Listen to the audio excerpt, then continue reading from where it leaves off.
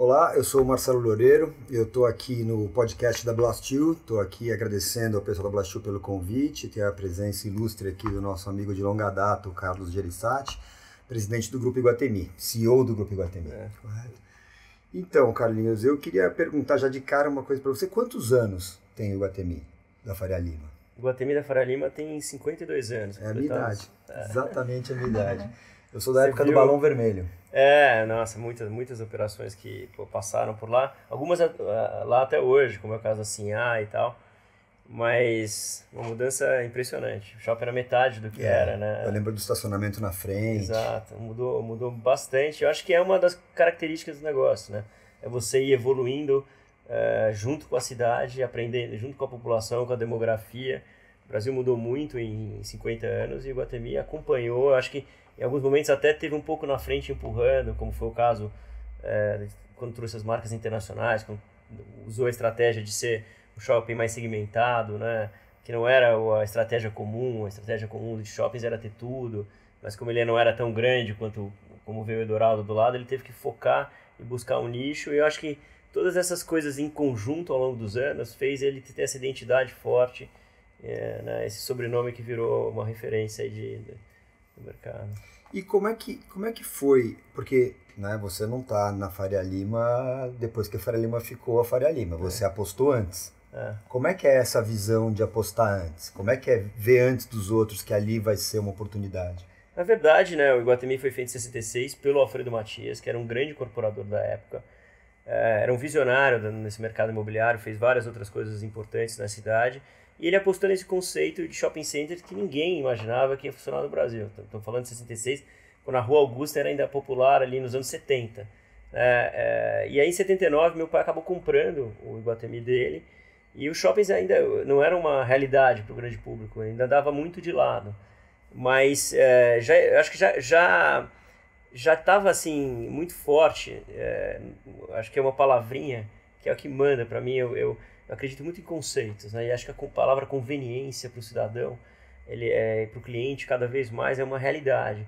E eu acho que a ideia de você unir num único lugar várias categorias de produtos diferentes, serviços, lazer, alimentação, eu acho que é, representou um, uma mudança de comportamento que as pessoas estavam tendo. Quer dizer, a vida foi ficando cada vez mais agitada, as pessoas têm menos tempo e a ideia de você reunir tudo num único lugar foi ganhando muito, muita força a partir dos anos 80 no Brasil. Então eu acho que teve uma, uma questão realmente de, de, de ser visionário, né, de facilitar a vida do, das pessoas num único lugar. E daí em diante, quer dizer, tudo aquilo que eu comentei que foi mudando e várias categorias de produto que não tinha, que foram sendo colocadas ali, e o próprio redesenho dos espaços, né? Você vê o shopping hoje quase quer não ser shopping, no sentido de que quer lugar cada vez mais aberto, mais agradável, mais é, com nichos e espaços para as pessoas terem momentos agradáveis ali dentro. Então, quer dizer, eu acho que é, você tem que ter essa visão, é, como, como o Alfredo teve, sei lá, em 66, como meu pai teve ao comprar um negócio que também era desacreditado ainda naquela época, como ele teve em, em buscar criar essa estratégia de segmentação e a, e a adoção dessas coisas. Então, eu acho que você tá, tem que estar tá sempre olhando para frente, olhando para o consumidor, para as pessoas, e principalmente para o comportamento e o modo de vida das pessoas. Né? A gente estava falando um pouco sobre a tua atividade, hoje né, a mudança dos modais, a questão da, das bicicletas, agora dos patinetes, quer dizer, a vida vai mudando porque as pessoas querem viver de uma forma diferente. Você tem que ser capaz de estar preparado para continuar sendo relevante e interessante para elas. Legal. E que que você, qual, nessa, nessa linha, qual que é a sua visão para o futuro dos shopping centers, do Grupo Iguatemi? Qual que é a tendência que você acha que o mercado vai andar? Eu acho que acho que tem várias tendências que são importantes, né? Acho que né, dentro dessa questão da conveniência, a gente está lançando agora é, em maio agora de 19 o Iguatemi 365, né? É uma plataforma de e-commerce usando a tecnologia do marketplace. Então a gente vai uhum. conectar o cliente à loja e fazer todo o sourcing e entrega de produto, acreditando que é, a gente construiu um ambiente bastante conveniente, né? Que é o próprio shopping center, interessante de se visitar. Mas você tem vários clientes que hoje, por N razões, não conseguem chegar no shopping ou, ou por um momento, porque estão trabalhando, ou porque estão, uh, enfim, fazendo outras coisas na sua vida. E se você puder servir essas pessoas mesmo à distância, é, com a curadoria de produto, com a escolha das marcas, com um serviço de qualidade, com uma edição de, é, de moda que interessa as pessoas, acho que tudo isso faz parte dessa evolução. Então, a gente caminha, acho que caminha para isso, caminha é, quando você pega o teu o teu aspecto aí do também do, do modal, né, é, é interessante porque imagina os shoppings foram feitos com uma relação entre o, a área construída e o número de vagas. E hoje você vê que as pessoas, pela, pela uso de aplicativos, né, Uber 99, as pessoas quer, continuam indo ao shopping cada vez mais. A gente tem crescimento de fluxo de pessoas, mas a gente tem um, um decréscimo na utilização das garagens. Que é muito mais prático. Você para ali, entra, faz o que você tem. Hoje você tem a segurança que você vai ter um carro para chegar e ir embora. Então vai ter que redesenhar toda essa parte de estacionamento. A cidade vai ter que. Nós vamos ter que usar essas áreas. Talvez a gente tenha que ter muito mais drop-offs, muito mais áreas interessantes para a pessoa é, parar. Então, quer dizer, tem muita coisa que está mudando e que vai influir no desenho, nos conteúdos do que a gente tem lá dentro. E falando exatamente nesse redesenho do, do mercado, do shopping, como você acha que a Faria Lima evoluiu como avenida depois do lançamento da ciclovia? Você vê algum benefício ou você acha que isso não fez muita diferença? Não, fez enorme diferença. Aliás, eu fui um grande incentivador na época, até com o Edu Farrege, que trabalhava ali perto, de primeiro que eu chamava de embelezar a Faria Lima, que era enterrar os fios, quer dizer, era uma, era uma das principais avenidas é, da cidade de São Paulo e era uma das mais horrorosas avenidas, com postes, fios, as pessoas não conseguiam caminhar. Então, eu acho que a ciclovia veio junto com um processo de valorizar o pedestre, a utilização das pessoas poderem andar com calçadas largas, sem tanta interferência, e obviamente já é, olhando para frente a questão porque quando ela começou, não, você não tinha muitos movimentos, não. você não tinha as bicicletas ainda. Você, ela, ela veio antes até de. Sim. Tinha só a bicicleta própria, mas ela não tinha ainda todos esses esses é, é, aplicativos e tal que apareceram logo depois.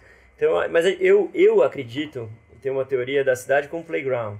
Eu acho que a, a ciclovia e a usa da, é o primeiro movimento de fazer as pessoas usarem as ruas numa velocidade mais baixa e perceberem que você pode sair de casa e se divertir ao longo da cidade, que é muito o estilo de vida que você vê, eh, sei lá, em países escandinavos e tal. Você vê que a diversão ela tá no caminho das pessoas. Né? Você tem, ah, você vai andando tem um parque, você vai andando, você tem um negócio de skate, você vai andando tem um lugarzinho para sentar e para comer. A cidade precisa ter essa essa força, essa vitalidade na rua. Eu acho que a Faria Lima é um dos primeiros bons exemplos de você começar com essa questão da da mobilidade, até porque eu acho que a ciclovia foi feita de uma maneira muito mais simpática para as pessoas do que a, aquela que você vê usar um pedaço da rua, que ainda causa uma certa preocupação nas pessoas, porque o carro está numa velocidade maior ali ao do lado. Acho que você isolando e dando maior segurança, você realmente incentiva muito mais a utilização por diversas pessoas e de idades. Assim. Entendi. E hoje o, o, o Iguatemi tem um foco principalmente nas uh, camadas mais altas da sociedade, né, de classe AB praticamente. Né? Você vê alguma tendência do Iguatemi indo para zonas fora dessas zonas de, de high income, por exemplo?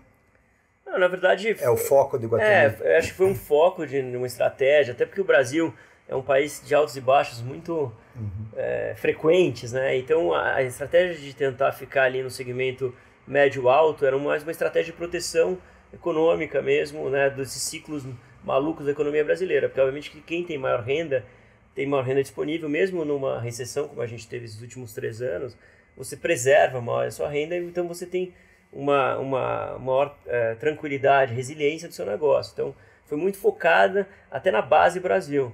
Eu acho que hoje o grande investimento que a gente vai fazer é tentar atingir o Brasil inteiro, não mais só através do meio físico, que é construindo uhum. um shopping center numa determinada cidade, mas é, é, oferecendo né, todo esse conhecimento que o Iguatemi é, adquiriu de varejo para o Brasil todo, através do Iguatemi 365, que foi uma das coisas uhum. uh, que, eu, que eu mencionei. Então, acho que é, a gente vai alargar nossa base pelo Brasil muito mais do que mudar a estratégia de, do, do, negócio até. Você pluga os lojistas, ele, eles vendem e você entrega. Exatamente. É, na exatamente. A gente pluga, né, o estoque é do lojista, então eu não tenho o processo de compra e venda da mercadoria. Uhum. É, eu uso o estoque dele, mas eu reconheço o estoque dele. Eu, eu, eu, eu coloco os, os, os produtos, é claro que é, muito em consonância com o lojista e tal, o que, que vai colocar, vender e tal mas eu faço a, a, a visibilidade do estoque dele ele compra, né, o cara compra do baixa, pega a mercadoria, empacoto e envio. Eu imagino que tem muitos clientes que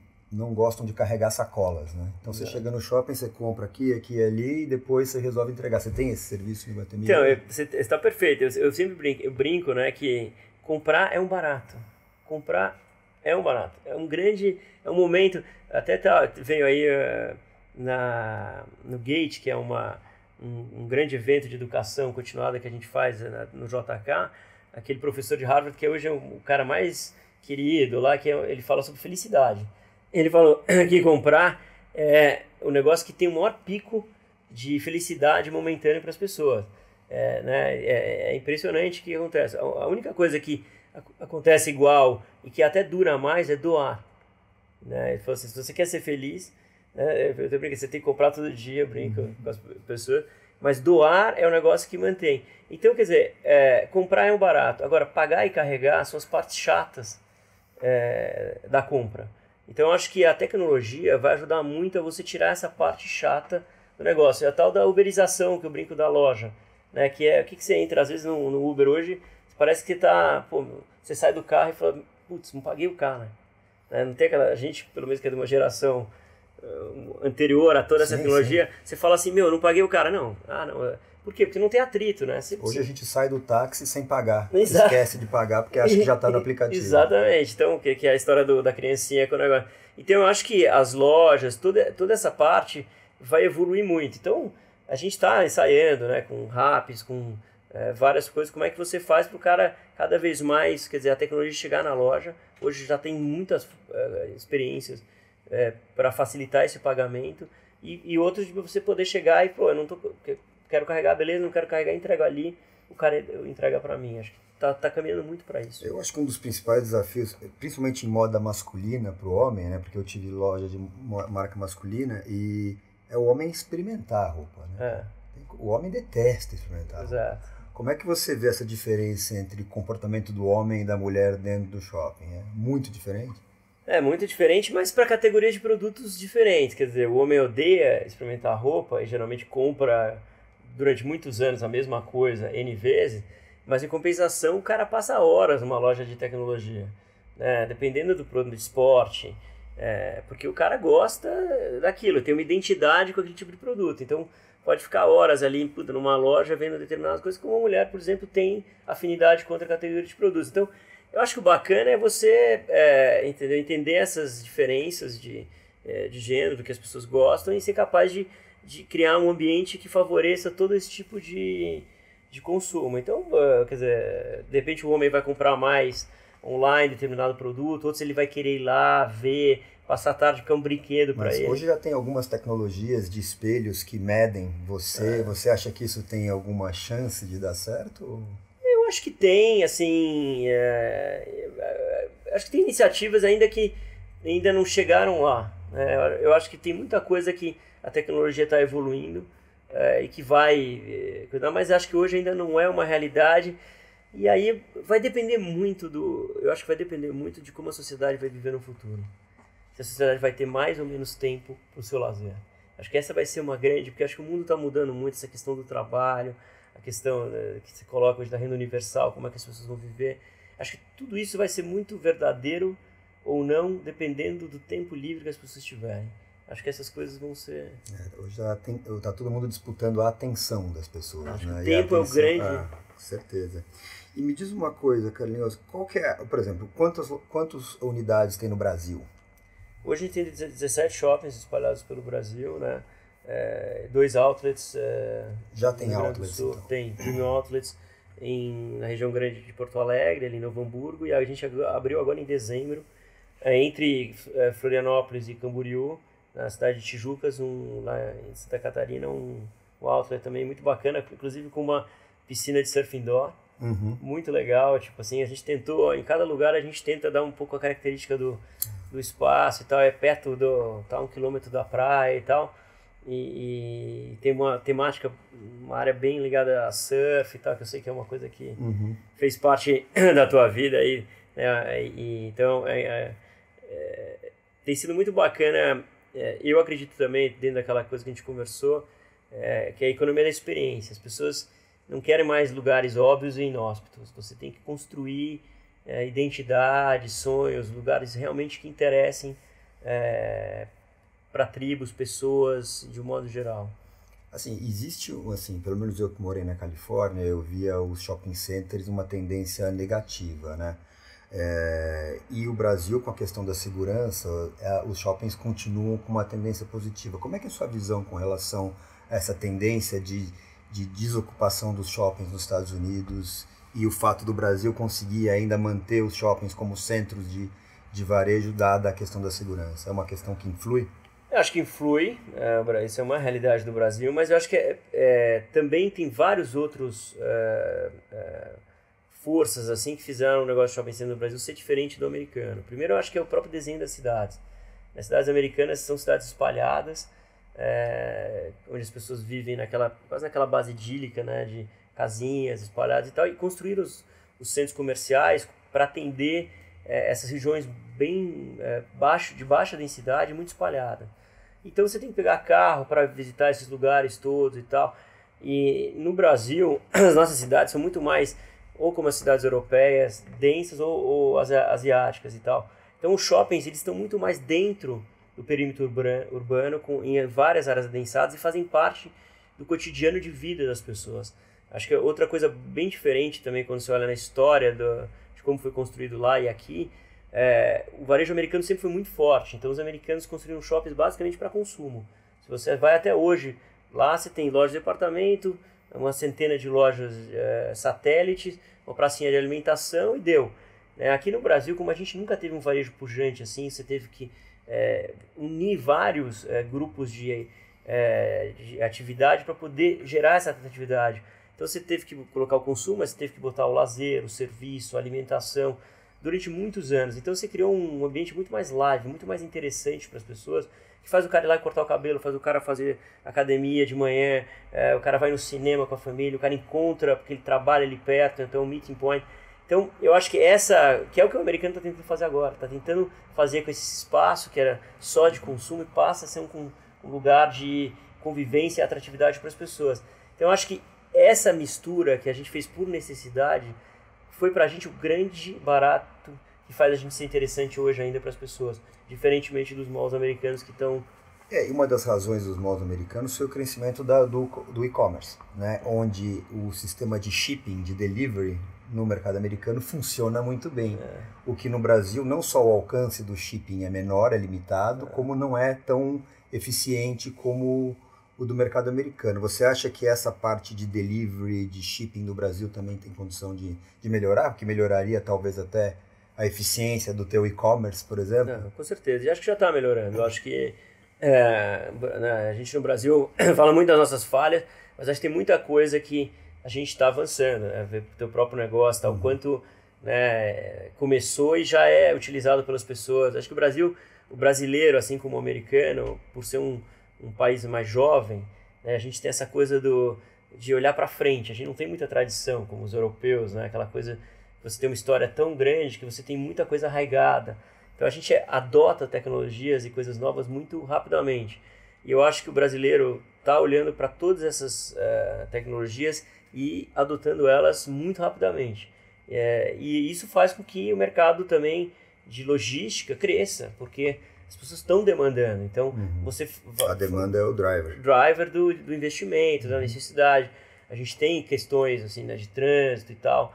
Uh, enfim, questão de roubo também no Brasil. Ainda você tem uma filosofia uh, ainda que, que precisa mudar, né, desse respeito a, cara, a, a a, a, ao, que é, ao que é do outro, né? Tipo assim, acho que tá na, acho que tem uma reviravolta aí grande que é de, que é de conceito mesmo, de transparência, de, de, de não é meu, cara, não é meu e vamos encontrar outra forma de, de melhorar, mas não pegando coisas por aí.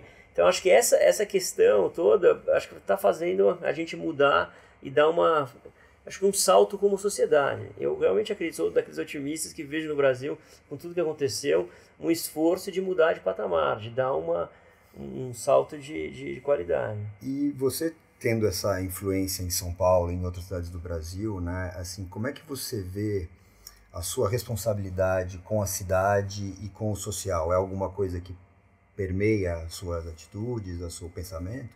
Muito, é, né? Eu tenho até, tipo assim, uma história de família empresária, mas também muito ligada à política no Brasil, assim, né? Eu tenho um tio que, eu tenho um avô que foi deputado senador, eu tenho um tio que foi governador e é senador hoje, né? Pessoas que sempre, assim, então a minha família sempre é, participou, né, e se interessou pelo que estava acontecendo no Brasil e tal. Obviamente que eu não tenho, não faço política partidária, mas é, tem uma preocupação muito grande de onde a gente está, de ser uma boa influência é, e uma influência correta para a sociedade, inclusive agindo. Eu vou dar um exemplo prático para não ficar só no campo da, da teoria. Por exemplo, a gente a, né, participou da construção do Parque do Povo e, a, e, faz a manutenção dele até hoje. O Parque do Povo, muitas das pessoas não sabem, mas ele não tem um centavo de dinheiro público. Ele foi construído pela iniciativa privada e ele é mantido pela iniciativa privada até hoje. É, a prefeitura tem lá a guarda civil e tal, que é a única coisa que ela coloca. Toda a manutenção, a atividade que você vê lá hoje no parque, que é, é uma coisa interessante, que as pessoas, inclusive, eh, confundem o público com o estatal, né? Quer dizer, o parque é público, ninguém paga nada para ir lá mas é uma gestão privada e, e, é um dos parques mais bem avaliados da cidade. Então eu, acho que a gente tem esse compromisso de né, de estar, tá, é, como eu falei da Faria Lima, que a gente ajudou a, a, fazer um movimento de transformação, inclusive colocando recursos, a gente ajuda, faz agora com o Parque do Povo, fez com a Passarela de Congonhas, eu acho que é, eu estou falando isso porque como um developer, né, alguém ligado à área imobiliária, é a área que a gente, um dos exemplos que a gente pode dar claro de que você pode oferecer e participar da vida para tornar a cidade melhor para as pessoas e, obviamente, uma cidade mais atrativa para todo mundo para viver, inclusive para quem vem visitar. Né? E se você tivesse que olhar para outras regiões de São Paulo, por exemplo, que são fora da Faria Lima, né? Que outro dia até um amigo meu brincou, né? Falou, pô, daqui a pouco vai ter disco voador compartilhado para alugar na Faria Lima é. e as outras regiões da cidade estão ainda é. né, mais atrasadas. Você vê alguma possibilidade? Qual é a chance da, do desenvolvimento econômico chegar em outras regiões da cidade de São Paulo? É, esse é, esse é um problema que existe em várias cidades do mundo, né? Porque acho que a gente, como é brasileiro, quando viaja né, para Nova York, fica ali em Manhattan, naquele miolinho. Mas se você subir da 90 para cima, é outra realidade. Uhum. Pega Park Avenue, vai da 90 e quanto. Não é a realidade da 90 para baixo. As cidades, elas, elas. São Paulo não é uma cidade. São Paulo são 12, 14 cidades diferentes. Não existe cidade com mais de um milhão de habitantes. Elas se dividem. É, isso é uma dificuldade do, da pessoa compreender. Você tem um grupo de bairro, ninguém precisa de mais do que, sei lá, é, cinco escolas, 10 shoppings, é, 50 restaurantes para viver. Então você tem essa dinâmica. Então, é, essas outras cidades que estão em volta da cidade de São Paulo, que não tem tanto a zona de trabalho, que essa é a grande. Né, as pessoas vêm, se deslocam para vir trabalhar na zona oeste, ali, nessas cinco, seis zonas de, de trabalho. E acho que o grande drama é como você distribuir melhor as zonas de trabalho pela cidade para você ativar vários desses lugares hoje que tem uma dificuldade de gerar economia, uhum. gerar é, atividade que não seja só moradia, mas seja também regiões de trabalho. acho que é um desafio não só para São Paulo, mas para várias cidades no mundo. Eu acho que essas tecnologias vão estar tá ajudando. Acho que as pessoas hoje em dia podem morar muito mais distantes e continuar trabalhando. Né? A realidade, isso também tem a ver com os modais. Né? Acho que São Paulo avançou Acesso. muito negócio de metrô e tal. E acho que sim, sem trabalhar essas questões, fica difícil você ativar economicamente e ter o interesse de melhorar, embora exista. Né? Você vai lá na Zona Leste, você tem o seu núcleo, o seu centro da, é, da centralidade da Zona Leste, a centralidade da Zona Norte não é a mesma, não tem nada a ver com a centralidade que a gente vive na Zona Oeste de São Paulo, que é onde a região da uhum. Faria Lima. Então acho que essas coisas estão acontecendo, não na velocidade pretendida, até porque a gente teve aí três anos de forte recessão, mas eu acho que isso vai acontecer e acho que tem que ter um, um, uma ideia e um planejamento muito bom da cidade para que isso possa realmente melhorar, melhorar trânsito, melhorar tudo. Legal aquela primeira ideia do espaguete ice que já era um negócio totalmente fora da, da caixa, né? Um, Total. Um sorvete que era espaguete e tal, com umas misturas incríveis lá, que foi um baita sucesso. Conta um pouquinho dessa... Pois é, assim, não dá nem para entender como é que eu fiz aquilo, né? Porque a ideia era tão maluca e o pior é que deu certo, é. né? A gente, a gente... Eu, na verdade, eu tinha começado a trabalhar na Bolsa de Valores antes, e adorava aquilo, né, do mercado financeiro, de bolsa de valores. Eu tinha 18 anos, lá de paletózinho amarelo, no centro da cidade, quando o Bovespa era é. cotovelada ainda, né? E aí eu comecei a achar que aquilo lá ia me deixar maluco, né? Porque eu gostava demais e ia ficar enlouquecer nesse negócio. E eu falei, não, eu preciso ter um negócio que mais calmo. E aí eu tinha um amigo que tinha trazido da Alemanha uma máquina que era de fazer o sorvete de espaguete, né?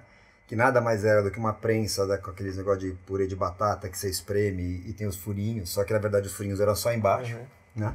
Então a gente escondia a máquina atrás de um painel, prensava o sorvete e saía um macarrão jogava macarrão de sorvete, jogava calda de morango em cima e ficava um espaguete à bolonhesa, é, botava uns crocantes em cima, era perfeito. E divertido. Divertido e era, e era inusitado, né? Então eu acho que isso foi a primeira coisa que eu entendi, que as pessoas, elas elas querem alguma coisa que chame a atenção delas, precisa ser alguma coisa diferente. Então, o cara olhava falava espaguete ice, o que, que é isso? Aí ele parava. No que ele parava, ele via as pessoas saindo com uns pratinhos com calda de chocolate. Aí o cara ia e experimentava. E o danado do sorvete era bom. É. Por quê? Porque quando você prensa o sorvete na, numa, numa essa prensa dessas, ele continua geladinho e, e, e, ele tem aquela textura, ele fica aerado, porque uhum. ele fica em fios. Uhum. Ele não é aquele sorvete que quando você vai comendo, ele vai ficando duro no meio. Uhum. Né? Ele é inteiro macio e, e, com a consistência igual. Então a gente deu sorte na, na ideia, acabamos tendo 12 franquias.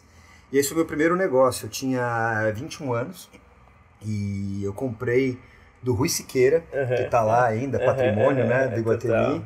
E eu lembro que eu paguei a loja em 60 parcelas, porque era o jeito que eu tinha que pagar. Eu vendi meu carro, que eu tinha ganhado um carro, que naquela época carro moleque, grande. moleque queria ter um carro, né? Era o sonho de consumo que hoje eu vejo os filhos dos meus amigos não querem ter carro. Eu lembro que teu pai era um cara que entendia muito de carro, fazia os carros os carros mais legais. E eu vendia eles, assim, é. ele fazia e eu vendia, né? Então, ele, é, ele era fanático por carro, tinha loja, adorava, uhum. os carros dele eram sempre os mais bem cuidados.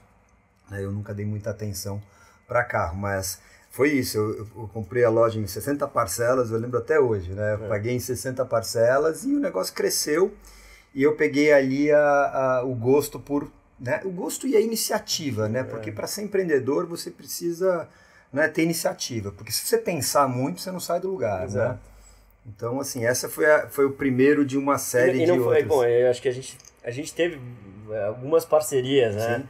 Ao longo, quer dizer, é, e é, e é muito verdade o que você falou dessa coisa de não fazer o óbvio, né? Que eu acredito muito também. Acho que a gente, o cliente espera da gente sempre uma coisa que sai do óbvio, que vai além, que, que né? Então, eu chamo do efeito uau ali na Iguatemi, que é o desafio de se também da gente prender dentro da companhia sempre inovando com coisas diferentes, mas você não parou por aí, né? Porque pô, veio o Mand, veio o, o Japengo Esteira, que Exatamente. também foi um negócio pô, único, né? Que, que pô, foi um grande sucesso. Exatamente. Bom, a Mandy ela nasceu em 2002, né? De uma, né, de uma experiência pessoal própria, né?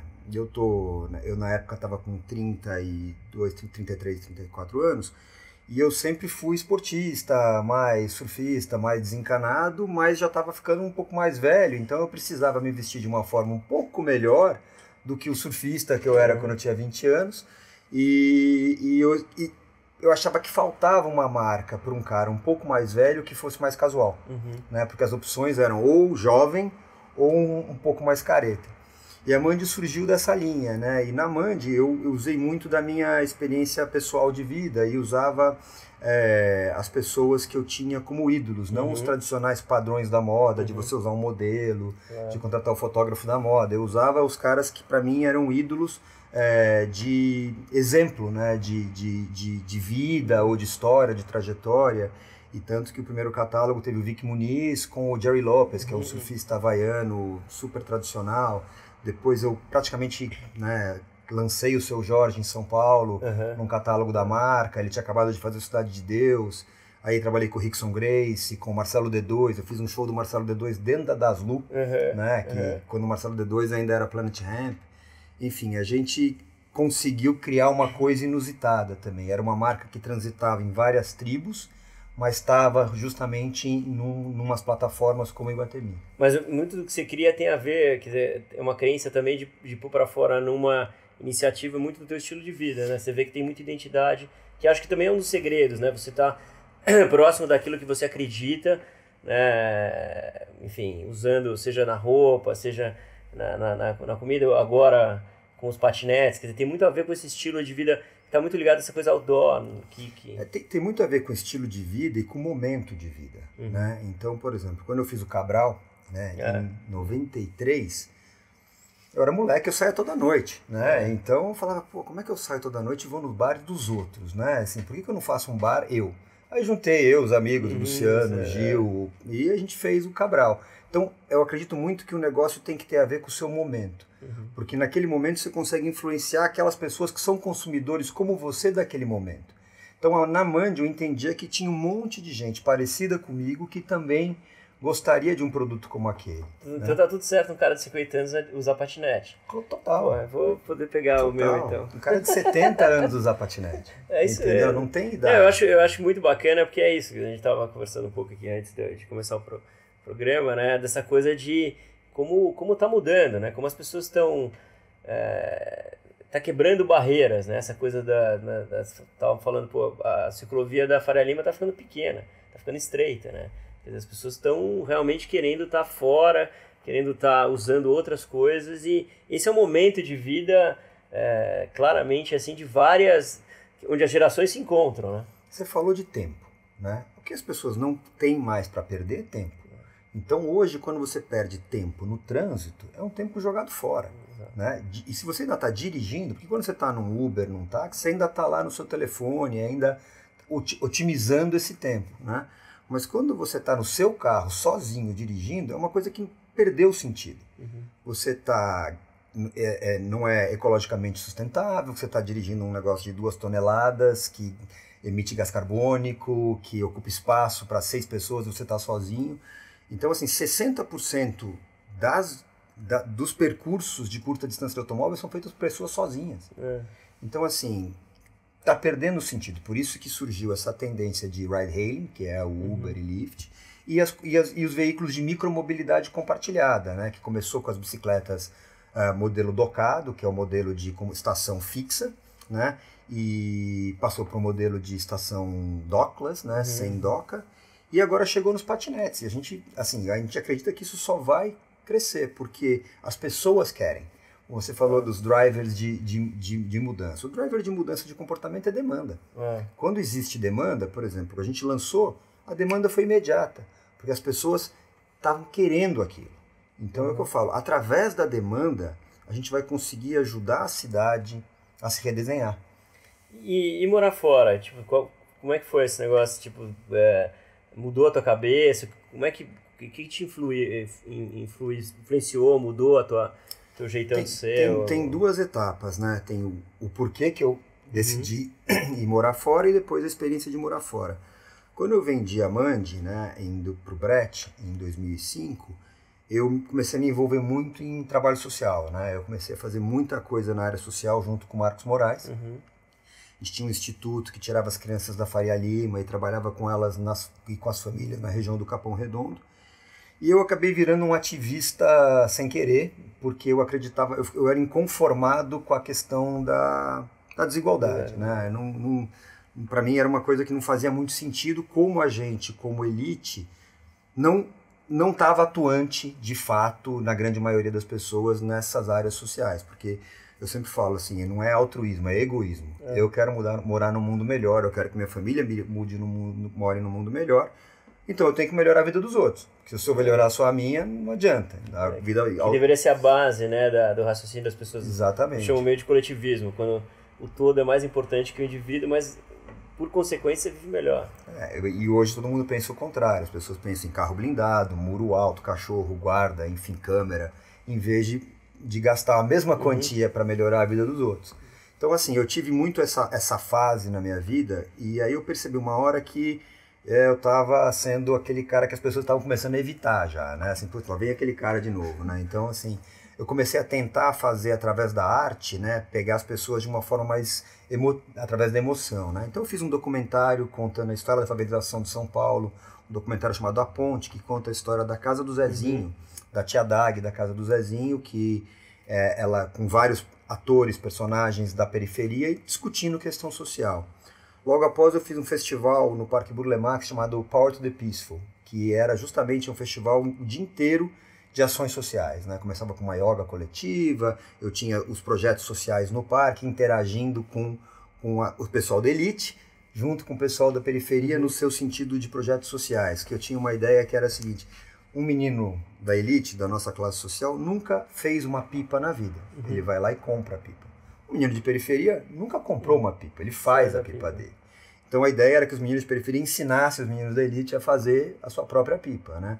Então esse tipo de interação eu acabei me frustrando um pouco, porque no próprio festival as pessoas, a grande maioria das pessoas, estavam mais interessadas na festa do que na, na é, ação é. social.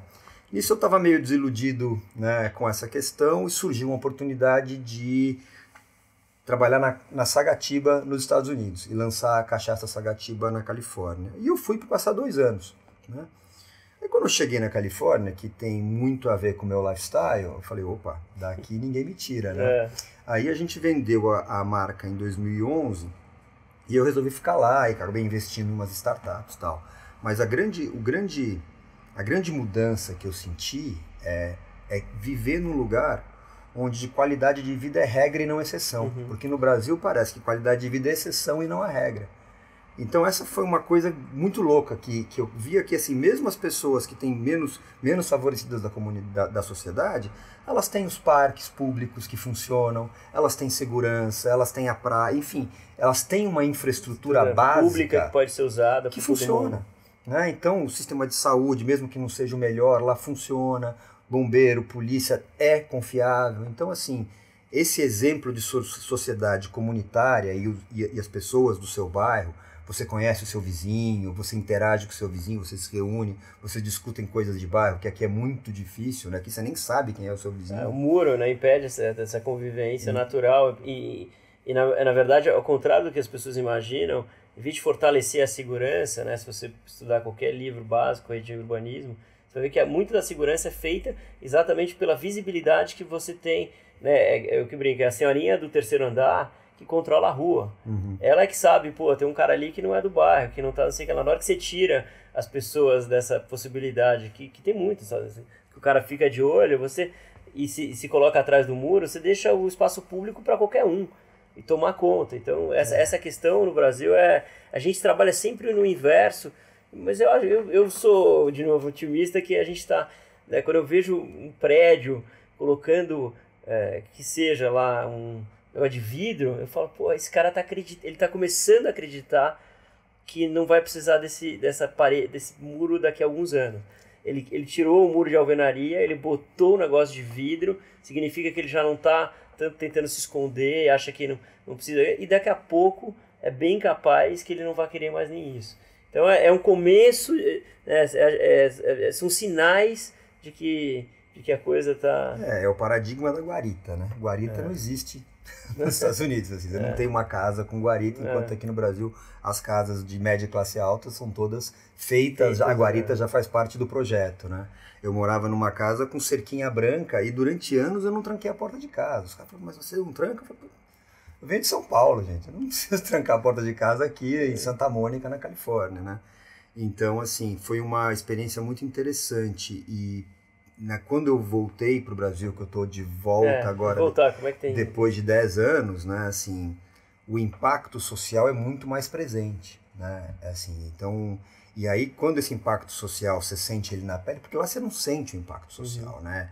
É, é, é, muito separado, ou você vê as pessoas, como eu falei, vivendo uma vida com qualidade, mesmo dentro das limitações. Aqui não, né? Aqui você sente na pele essa, essa diferença. Então, assim, não dá para ficar indiferente, né? Então, eu acabei voltando para o ativismo uh, social mas dessa vez de uma forma sustentável, né? Sim. Eu, quando fazia os projetos sociais, é, eram todos de uma forma não sustentável. Ou seja, era alguém fazendo funding, era tentando pegar pessoas para ajudar. E hoje, através do patinete, eu consegui ter uma ferramenta é. sustentável de geração de renda e inclusão social. Por quê? Porque como o patinete é um, um, um aparelho que tem que ser retirado da rua todo dia, recarregado e recolocado, a parte logística ela é muito intensa. É uma parte logística simples, que não exige capacitação técnica. Então a gente tem um olhar de recrutamento de primeiro emprego ou de emprego para quem não tem oportunidade. Uhum. Então a gente tem hoje seis egressos do sistema penitenciário na nossa, na nossa equipe de São Paulo. A gente tem, a gente vai nas periferias e recruta aqueles que ninguém quer contratar. Hum. Né? Então a gente consegue aí ter um Muito time que está dedicado, que ama o que faz, porque a gente foi lá buscar e dar oportunidade para eles.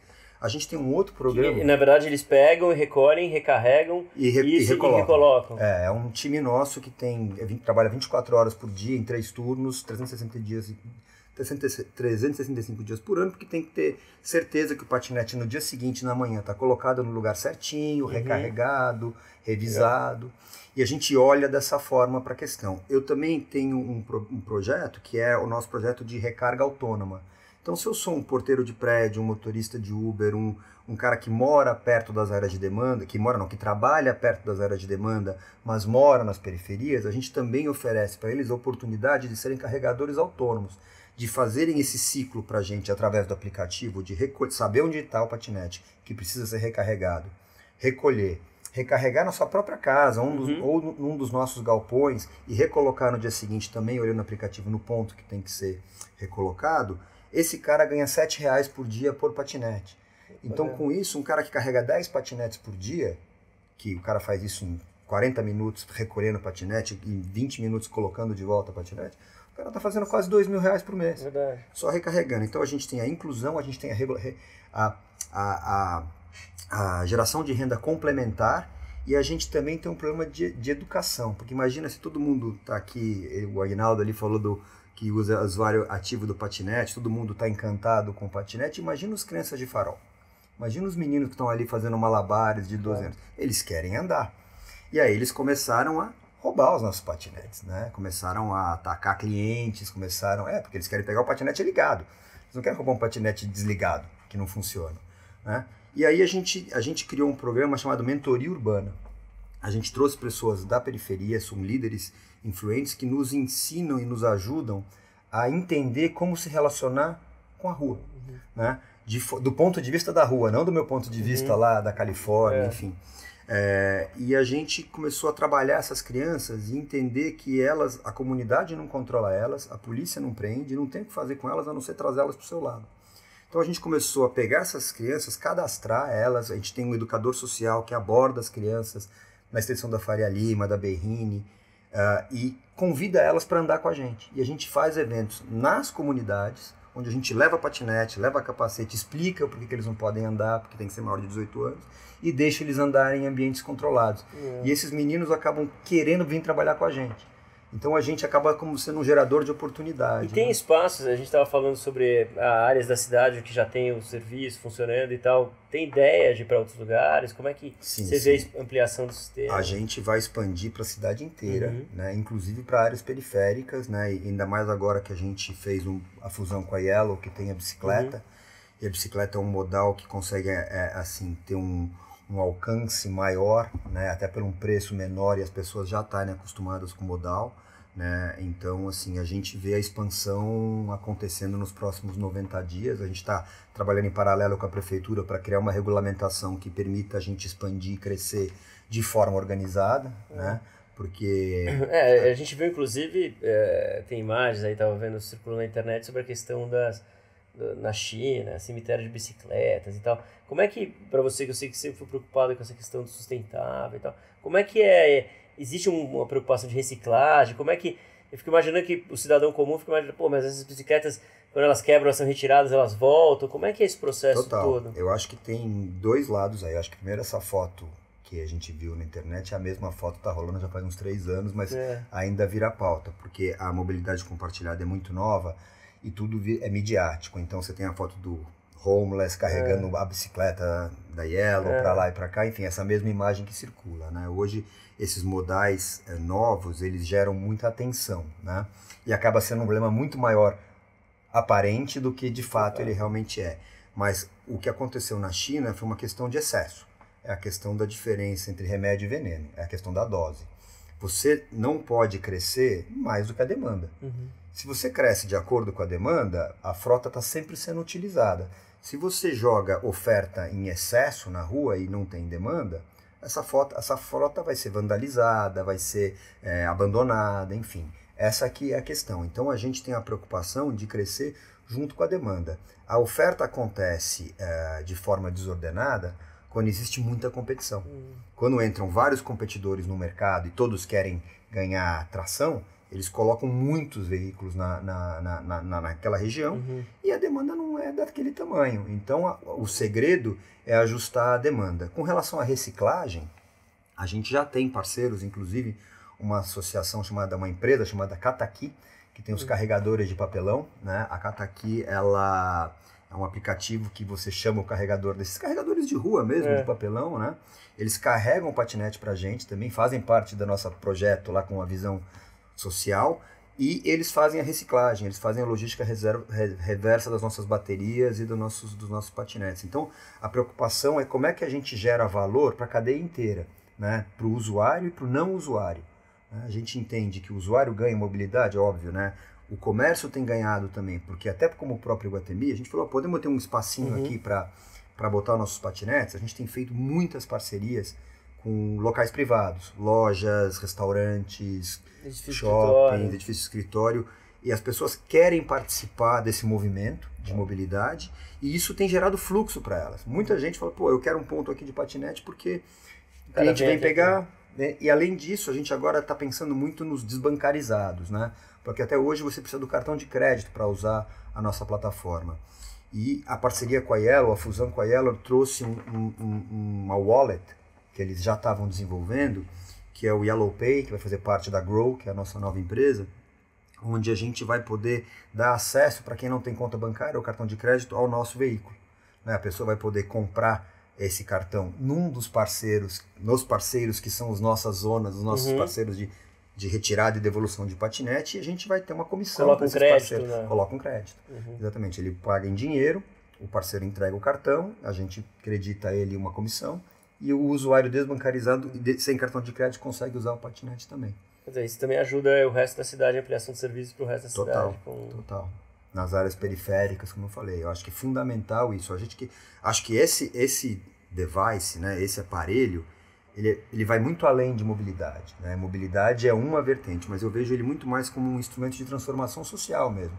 De educação do usuário, de respeito, dos caras entenderem que isso é para a cidade né, da cidade entender que, poxa, não é porque a ciclovia está lotada que então vamos proibir. Ao contrário, vamos é, ampliar a é. ciclovia, vamos, vamos fazer a cidade, o conceito Smart Cities, né, vamos transformar a cidade mais friendly, mais, usu, mais usável para as pessoas, como você estava falando.